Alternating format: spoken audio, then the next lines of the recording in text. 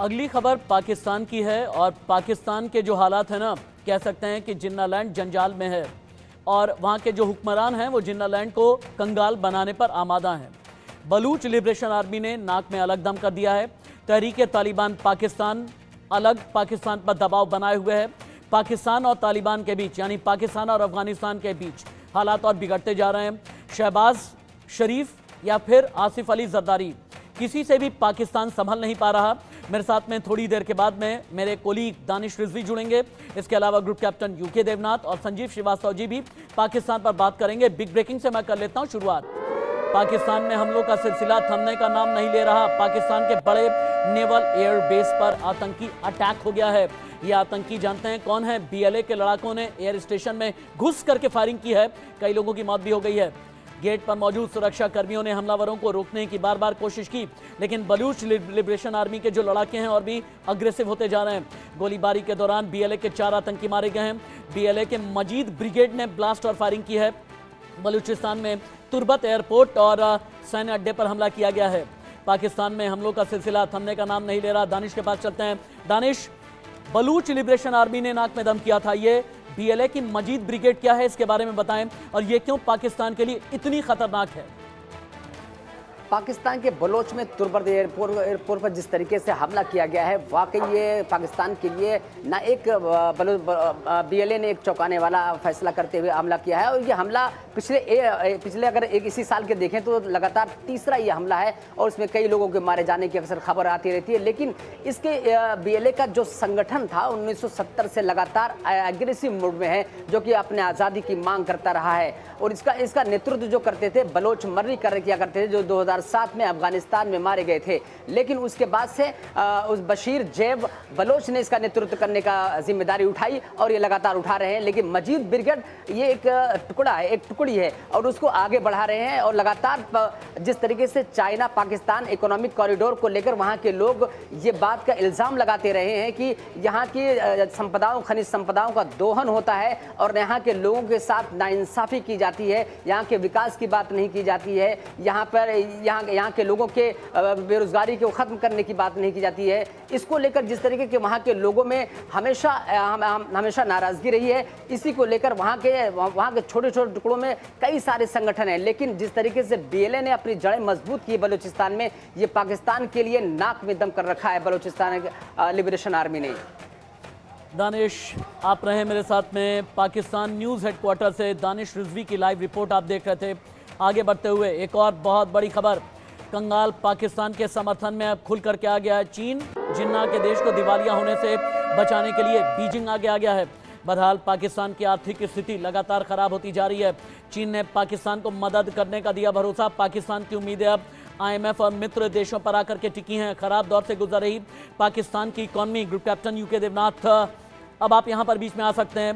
क्या पाकिस्तान की इकॉनमी बचेगी? ये मेरे लिए बड़ा सवाल नहीं है। क्या पाकिस्तान से गुर्बत, यानी गरीबी दूर होगी? ये बड़ा सवाल है। और क्या चीन पाकिस्तान को सेल थ्रू करा पाएगा?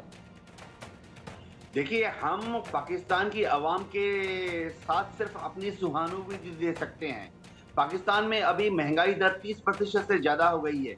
पाकिस्तान की इंडस्ट्री चैम्बर ऑफ़ कॉमर्स ने बार बार सरकार से ये अपील की है कि फॉरेन करेंसी की इतनी ज़्यादा किल्लत हो रही है कि पाकिस्तान के ट्रेड और इंडस्ट्री विदेशों से कच्चा माल आयात नहीं कर पा रहे हैं। और कच्चा माल क्योंकि विदेशों से आयात नहीं हो रहा तो उनके कारखाने बंद हो रहे हैं।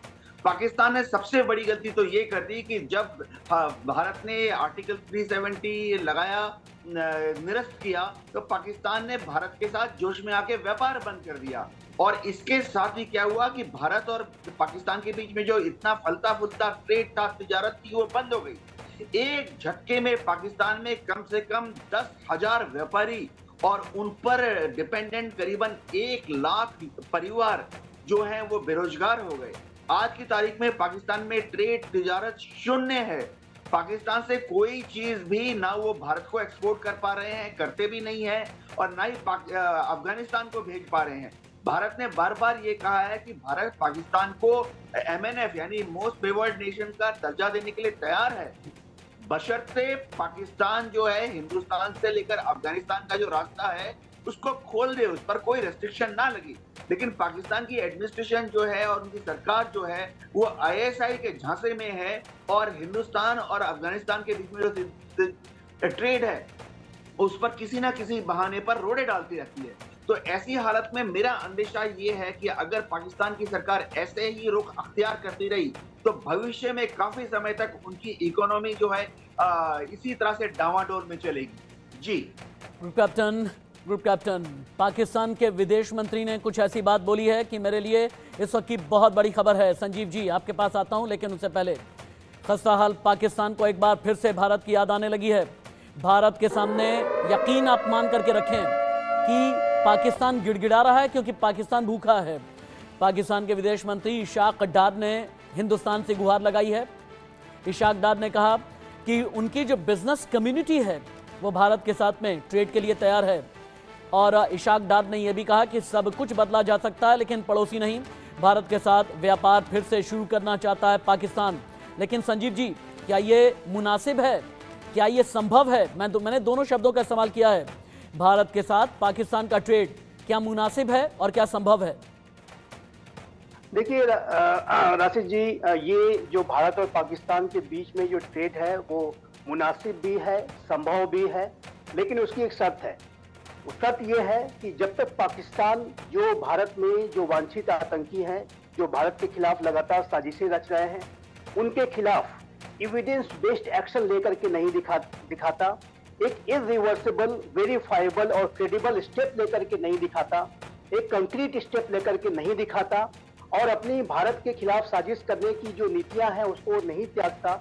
जब तक भारत को इसका एश्योरेंस नहीं मिल जाता तब तक भारत और पाकिस्तान के बीच के ये संबंध हैं, सामान्य नहीं हो सकते। और पाकिस्तान को सबसे पहले यदि वो भारत के साथ व्यापार करना चाहता है, भारत भारत के साथ संबंधों को सामान्य करना चाहता है तो उसे आतंकवाद के खिलाफ सख्त से सख्त कार्रवाई करनी होगी। राशि जी, आप देखिए तो पाकिस्तान के अंदर ही ये जो आतंकी हैं, वो भस्मासुर बन चुके हैं। बलूचिस्तान लिबरेशन आर्मी का इतना बड़ा हमला हुआ, पाकिस्तान का यह दूसरा सबसे बड़ा नेवल बेस है, वहाँ पर यह हमला हुआ।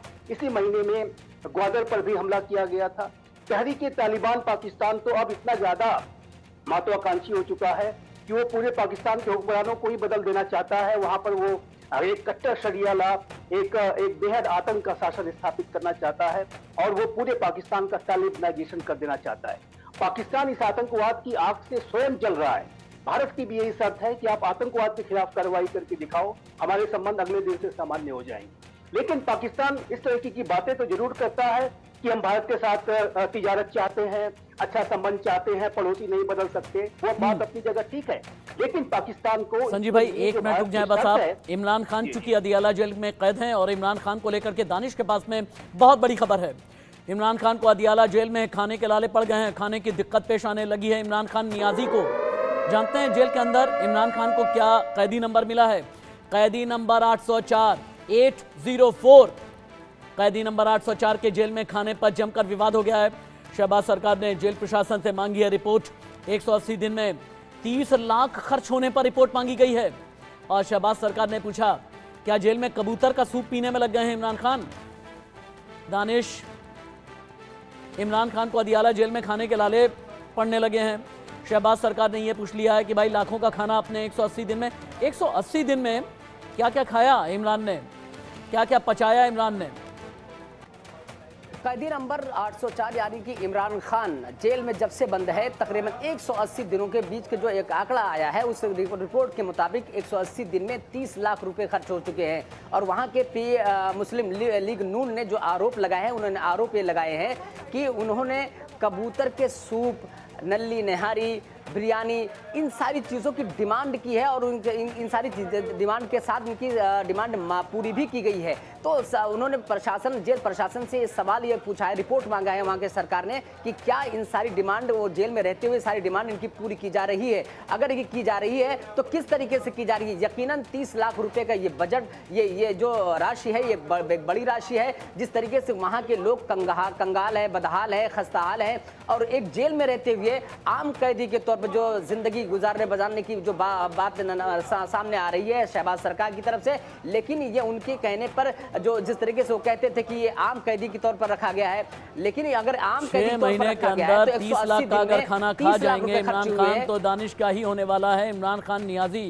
इमरान खान नियाजी की पार्टी पाकिस्तान तहरीक इंसाफ भी उसकी दुर्गत होने लगी है। पीटीआई को बहुत बड़ा झटका लगा है। चुनावी धांधली के खिलाफ विरोध रैली पर लोक रोक लग गई है। 30 मार्च को इस्लामाबाद में पीटीआई की रैली थी। अब प्रशासन ने सुरक्षा कारणों से रैली की इजाज़त दी ही नहीं।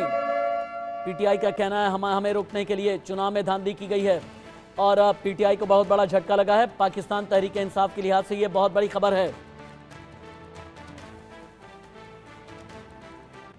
एक और बिग ब्रेकिंग पाकिस्तान की डावाडोल होती जा रही है इकॉनमी महँगाई और राजनीतिक संकट की मार झेलने को मजबूर है जनता। पाकिस्तान में महँगाई दर तेईस दशमलव शून्य छह फ़ीसदी पर पहुँच गई है। खस्ता हाल पाकिस्तान में खाने, पीने की चीज़ें बेहद महँगी हो गई हैं। पाकिस्तान में एक अंडे की कीमत बहुत ज़्यादा है। पाकिस्तान में जानते हैं आप, एक अंडे की कीमत तेईस रुपए तीस पैसे है। सुनकर चौंक गए ना आप, पाकिस्तान में देसी अंडा करीब पचपन रुपए में मिल रहा है। ये अंडा का फंडा क्या है? ये तो दानिश बताएँगे, लेकिन ग्रुप कैप्टन यूके देवनाथ, आप बीच में आ सकते हैं। बीच में हमने इमरान खान की बात की है। क्या इमरान खान का कोई कम होगा? जेल के अंदर से अब कोई खेला कर पाएँगे इमरान? जी, पाकिस्तान की जो एस्टेब्लिशमेंट है, वो फ़िलहाल इमरान को अलग अलग कोर्ट केस में फंसाई हुई है। इस वक्त इमरान खान के ऊपर अलग अलग धाराओं के अंतर्गत 140 से ज़्यादा मुकदमे चल रहे हैं। चार अप्रैल को फिर से पाकिस्तान की लोअर कोर्ट ने इमरान खान को और उनके मैडम को कोर्ट में बुलाया है। ये उनके ऊपर एक अजीब सा मामला दायर कर दिया गया है कि उनकी जो शादी है वो इलीगल है, यानी इस्लामी रिवाज के मुताबिक सही नहीं है। तो देखा जा सकता है कि इमरान खान को गाहे बगाए छोटा, बड़ा, असली, नकली और कई कई बार तो हास्यास्पद चार्जेस लगाकर जेल के पीछे रखा गया है। एस्टेब्लिशमेंट जो है डीप स्टेट पाकिस्तान की जानती है कि अगर पाकिस्तान में इमरान खान को आज जेल से बाहर आने दिया गया तो उनके जो फॉलोअर्स हैं, खासतौर से पाकिस्तान में, उनकी काफ़ी फॉलोइंग है स्टूडेंट्स में और महिलाओं में। वो सड़कों में आ जाएँगे इमरान खान के समर्थन में और पाकिस्तान की सरकार को दुनिया भर के सामने शर्मिंदगी उठानी पड़ेगी। इसीलिए उनका एक गेम प्लान है कि अगले सालों तक इमरान खान के ऊपर इतना दबाव डालो कि फाइनली इमरान खान खुद ही अपने तरफ़ से प्रस्ताव दें कि भैया, हमें तो आप सऊदी में या इंग्लैंड में भाग जाने का मौका दीजिए। और पूरा जो रूलिंग इलीट है, वो चाहे आसिफ अली जरदारी हो पीपी हो ये आराम से बैठ के अगले पाँच साल तक सत्ता का सुख आईएसआई और पाकिस्तान आर्मी के छत्र छाया में सत्ता का सुख भोगे। जी। जी जी। संजीव जी, इमरान खान के लिए सेटबैक है अदियाला जेल में है, इमरान खान का हिसाब लिया जा रहा है। सूप की एक एक बूंद कितनी उनके पेट में जा रही है? पानी कितना पी रहे हैं? मिनरल वाटर पी रहे हैं? नॉन मिनरल वाटर पी रहे हैं? इन सभी की खबर आपको क्या लगता है? कि शहबाज मंगा रहे होंगे? आसिफ अली जरदारी मंगा रहे होंगे? या फिर जनरल आसिम मुनीर हिसाब किताब रख रहे होंगे? कोई लाल डायरी लेकर के। नहीं सर ये हिसाब किताब पाकिस्तान की जो जनरल हैं, वो, जो आदमी आईएसआई वही इस तरीके के विषयों को जो है कंट्रोल करती है।